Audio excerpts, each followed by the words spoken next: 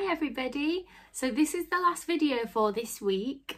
I'm just going to go through the riddle from yesterday. Did anybody manage to get it? Well done if you did. Very, very impressive. It was quite tricky. I'll read it one more time and I'll just tell you what it is. So, in fact, I'll tell you first and then when we hear it, we'll figure out why it is that. So it's the shadow of a bird and let's figure out why. It says, I'm part of a bird but I always stay dry. So a shadow never gets wet, does it?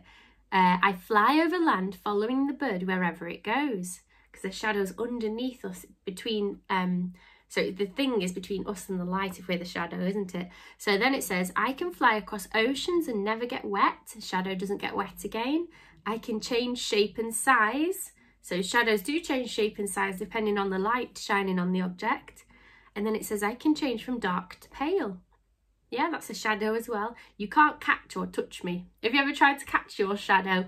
It's impossible, isn't it? It's just, shadows are just uh, a place where light can't get to. If you can see on here, Jerry's making a shadow. So the light is shining down, but Jerry's blocking it. So it can't reach here. So it leaves a bit of a shadow. Can you see that?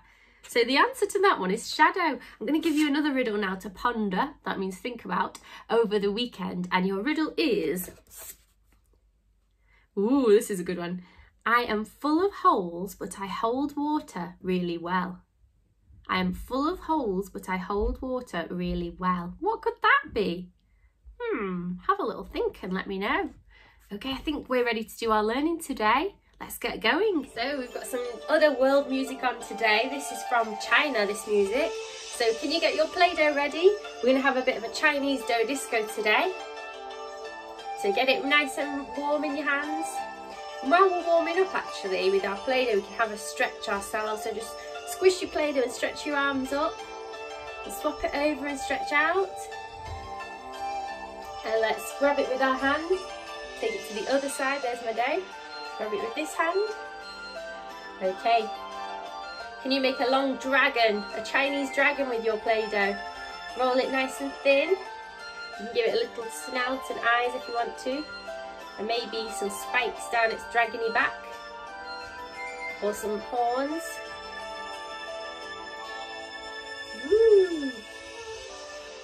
Do you remember Chinese New Year when we were learning about Chinese dragons and the dances they do? I know you loved learning about those dances. And we got the ribbons like this and the scarves and we were dancing like that. If you've got some at home, maybe you can make a scarf dance.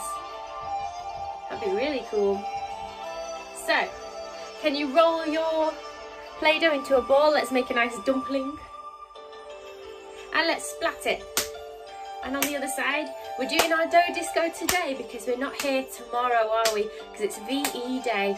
So this is going to be the last video for the week. Okay, can you pinch around the edge and make it look even more like a little dumpling? Have you ever had dumplings? They're really tasty. There are a few different types. There's some English dumplings that we have in stews that are kind of like round and then Chinese dumplings are usually, they're filled with something in the middle, something tasty. Okay, let's squish it and squeeze it. Is your Play-Doh getting sticky now? You're still using the first one, it's probably getting a bit sticky. I might add some more flour to mine to make it a bit more dry. Okay, let's do a dance. Woohoo! Get all your fingers dancing. You see the little footprints you're leaving. And then stretch your hand. Like that. And let's swap. Let's give this hand a chance now. Let's get dancing. Which hand's better at dancing? Is it your left or your right? Stretch and squeeze. And then what should we do to finish? Should we do a really hard squeeze in that hand, try to get all the Play-Doh to squeeze out and get all squidgy. And then woohoo! It's jumping out my hands. Let's swap to the other hand, give it a big squeeze, then pass back over. Let's roll it into a ball and put it away. Well done, guys. For spellings today, uh, we're going to do a little quiz because um, we're not doing it tomorrow, are we? So we're going to do a quiz today with all of the sounds we've done so far. So all those silver phase five sounds. Uh, if you can write numbers, the numbers one to 10 down the side of your page and I'm going to give you your spellings now. Or if you need to have a bit of time, just pause the video to write those numbers. So your spelling number one is joy joy. The boy felt lots of joy because he was happy. Joy. Question two or spelling two. Boy. Boy. Is the baby a boy or a girl?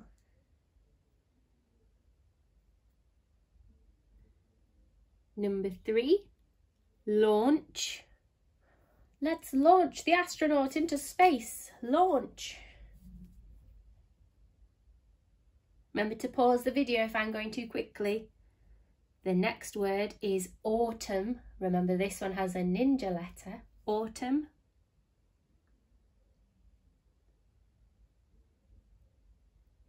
Five is monkey. That's a cheeky monkey.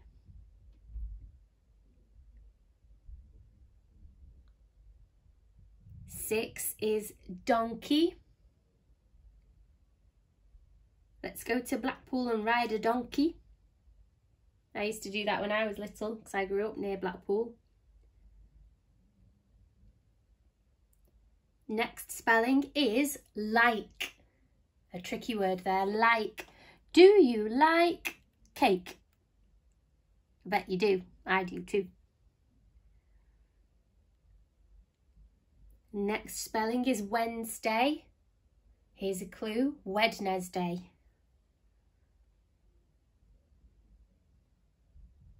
Next spelling is Saturday. And last but not least, we've got Tuesday. Listen to how I'm saying that. T Tuesday. Okay, I'll say them one more time, super quick. Joy, boy, launch, autumn, monkey, donkey, like, Wednesday, Saturday and Tuesday. That's all your spellings. I'm going to write them on here now. So let me get my, I'll do it in pencil actually today. So the first one was joy, j, oi joy. Tick for correct and tick for super handwriting. I've done mine a bit wobbly there. I've not started on the line, so actually I don't get a, a double tick. Next one, boy, b, oi, b-o-y, double tick. That's better, isn't it? It's much more on the line. Next one, launch, l, or, n, ch. L-A-U-N-C-H, launch. There's our phase five sound, or. Next one, autumn, or, t, um, with a ninja N at the end. Monkey, m, o, n, k, e, y, m, o, n, k, e, y, monkey. Donkey, d, o, n, k, e, y. like, L-I-K-E, like, like, L-I-K-E, like, like.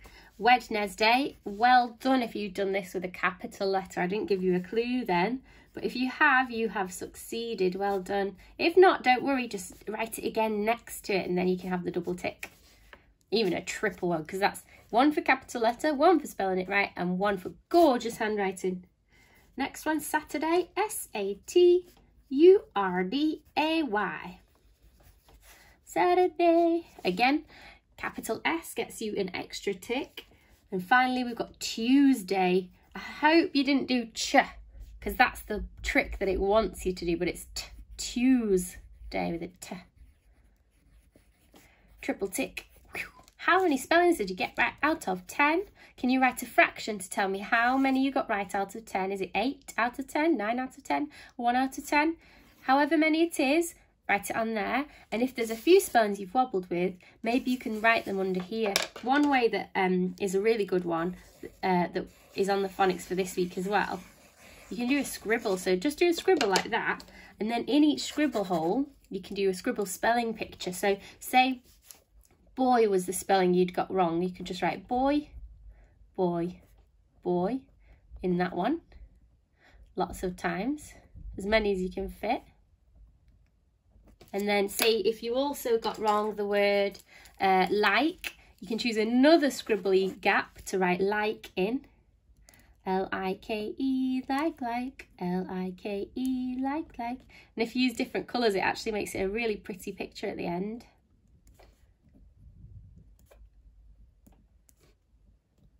And as well as making a nice picture, it helps us remember the spellings. So you could fill this in with all the spellings that you wobbled with.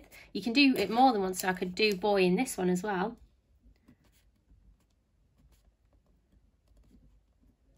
And that just really helps our brain to remember these tricky little things. Well done. remember back to yesterday, we were learning about fact families, something we've had a look at in class as well. So you might see it like this as a triangle, where sometimes it's, it's broken up like that. So it could be 10, 7 and 3. Or you might see it like this. It can be different numbers, but there's always three of them. It could be something like 4, 6 and 10, like that. That's a number one to 10 and that's a number one to 10 these are the kinds of pictures you might see or you could see it like this as, calculation so 7 plus 3 is 10 uh, 3 plus something is 10. So we know there they've just done the lazy swap. So the answer to that would be 3 plus 7 is 10. We're using our knowledge of the family of numbers to solve questions. So what I would like you to do today is I'm going to give you some triangle pictures and, and uh, rectangle pictures down here. And I'd like you to see if you can write all of the fact family number sentences underneath. So I'll show you what I mean for this one all of them would look like this. So we know, I'll start with the pluses. 4 plus 6 is 10. We know that from our number bonds, don't we? 4 plus 6 is 10. 6 plus 4 is 10. And then if I think about the subtraction, we start with the larger number. Take one away and we'll get the other. Take that away and we'll end up with that. If you need to practice this with Play-Doh, that's fine because it does help us just to get the concepts in our head. You could also write it this uh, swappy way. So you can put 10 equals 4 plus 6. Or you can do 10 equals 6 plus 4. Uh, or 4 equals 10 take away 6. Or 6 equals 10 take away 4. That's the really hard one. That's one that might wobble you, but give it a try if you're feeling brave. So use those pictures to try and tell me all of the uh, fact families you can. For a challenge, I'm going to give you some missing number ones at the bottom to see if you can solve those. Okay, I'll write it on here. It'll appear in a moment. Your challenge of the day. It says write down the fact family number sentences for this one, this one and this one. Then your mega challenge, we've got some missing numbers here for you to solve. Finally, it says 86 plus 22 is 108. That's a big calculation there. So what is 22 plus 86? Ooh, see if you can figure that one out. So pause the video now and give it a try. And I'll go through the answers shortly. The first one, you can have 2 plus 8 is 10. 8 plus 2 is 10. 10 take away 2 is 8. 10 take away 8 is 2. And if you've done the swappy ones like that, oops, sorry, like this one, well done. You can have extra ticks for those. This one we've got 16 plus 4 is 20. 4 plus 16 is 20. 20 take away 16 is 4. And 20 take away 4 is 16. The same with this one. 20 take away 2 is 18. 20 take away 18 is 2. 2 plus 18 is 20. 18 plus 2 is 20. For these ones, the missing number for this one was 20 because it's a number bond there, 3 and 17. 21, 10 and 11 is that one. So remember, again, you can write the fact family sentences there. And this one, 8 plus 7 is 15. So that answer there is 7. So this one, this final tricky one, 86 plus 22 is 108. So 22 plus 86 is also 108. Well done if you spotted that trick. I tried to scare you with big numbers, but all we did really was that lazy swap. We swapped 86 to there and 22 to there. Nothing changed, so the answer is still the same. Well done! In the story of Oliver's vegetables, he starts off by only ever eating chips, doesn't he? And do you remember what we said last time? It's not really very healthy to just eat chips, is it? Have you ever had a food where that's all you want to eat? I know I have, and I remember last time I said it was noodles. I used to love them, and that's all I wanted to eat, but it's not very good for your stomach. It's really good to have the variety of things like fruit and vegetables, and if you eat meat, then to have some meat and things like beans and all, all the different types of food to keep your body healthy and give it all of the different vitamins and minerals that it needs to grow healthy and strong. If he's just having potato, he's not going to have all the things that we get in apples and spinach and rhubarb and um, other different vegetables and fruit or in meat if you want that. So we need to convince him that chips aren't the greatest thing to ha have if that's all you're having. So what we're going to do is we're going to write a letter to Oliver. So how does a letter start? We need to say dear and say who it's to. So d, e, er. D, ear. There's that ear sound. We did that, didn't we? Dear Oliver. Oliver's got a capital R because it's a name. Dear Oliver. You can introduce yourself and say, my name is, mm -hmm, and I'm writing to talk to you about healthy eating, something like that. So I'm going to put my name is, and then I'll just put a line there so you can fill it with something else.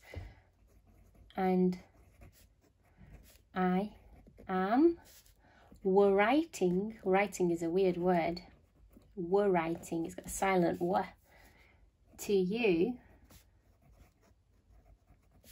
about healthy eating. So we've got to try and convince him not to just eat chips. Let's imagine that that's all he's still eating. What would we say to him to stop eating those chips? Have a little think to yourself. Hmm.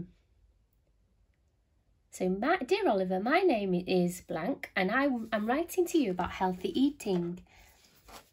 Full stop.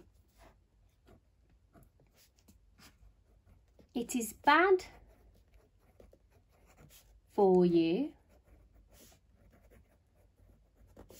to only eat chips, to only, oops, I've just spelled that wrong. If you spell it wrong, just put a cross through it and then start again. Only, that's a funny spelling, only eat. You know what, I'm going to add an adjective here to really get my point across. It's bad for you to only eat greasy,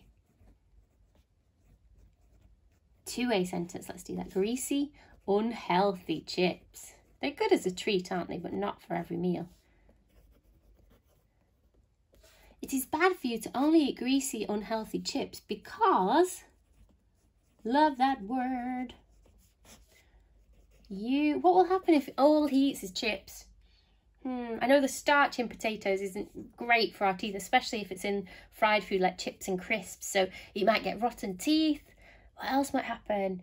He might start to feel a bit weak because he's not got all the vitamins he needs. Maybe he might even get a bit fat too. He might start to put on weight and feel a bit a bit tired every day. So what should, you can choose any of those or any of your own ideas. It's bad for you to only eat greasy, unhealthy chips because you might get fat.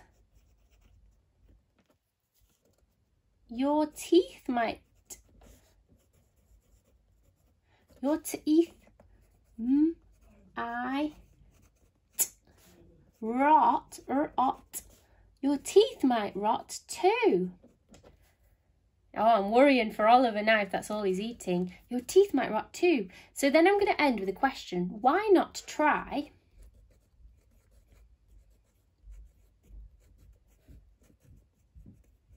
eating I'm going to go on to the next page. Delicious.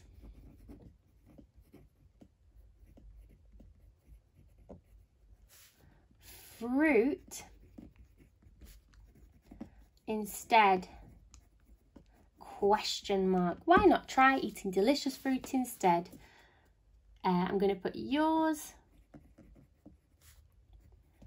sincerely because that's usually how you end a letter yours sincerely, or you can put love from if you want to, and then put your name. This is just one idea of a letter you can write. I'll show you the whole thing now.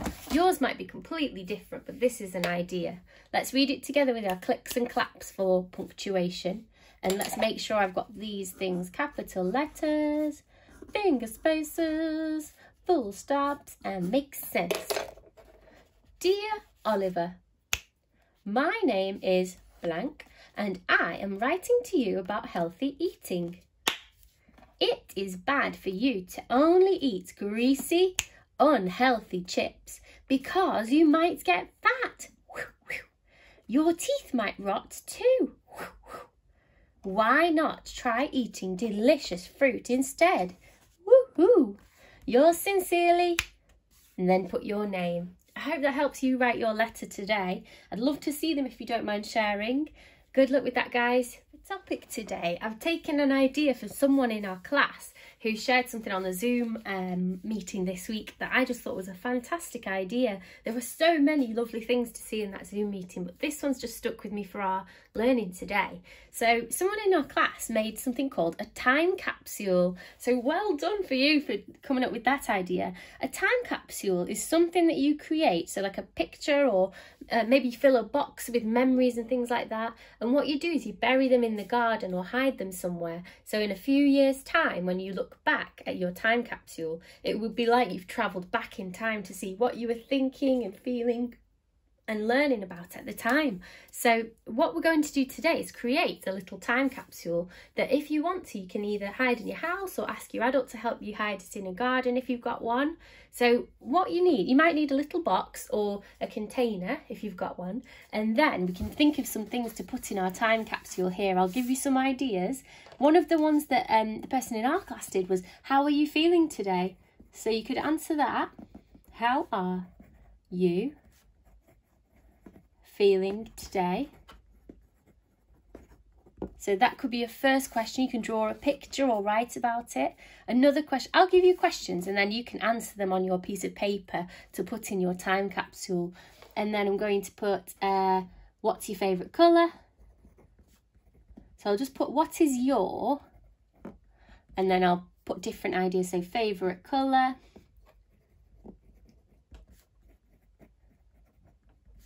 food that you like. What? Sorry, I should put favourite food.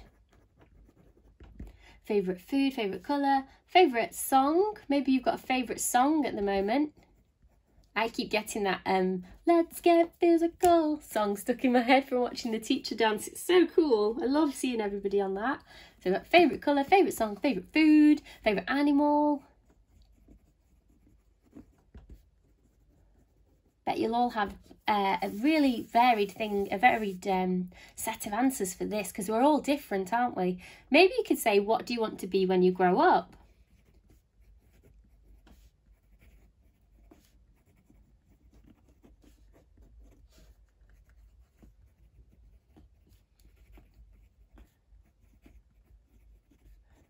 So these are the questions. I'll write the questions here, but you're, what you're going to do on your piece of paper is write the answers to these questions so that when you look back, maybe when you're a grown up, you'll look back and think, oh, that's interesting. Maybe you wanted to be, I don't know, like a ballerina or something when you grow up. And then when you're an adult, you can look back and think, oh, that's funny. Or, oh, I am a ballerina now. So it worked. Whatever you want to be or a space uh, an astronaut. I know there's a few pe people who like space, maybe an archaeologist or a scientist. We've got a lot of scientists in our class as well.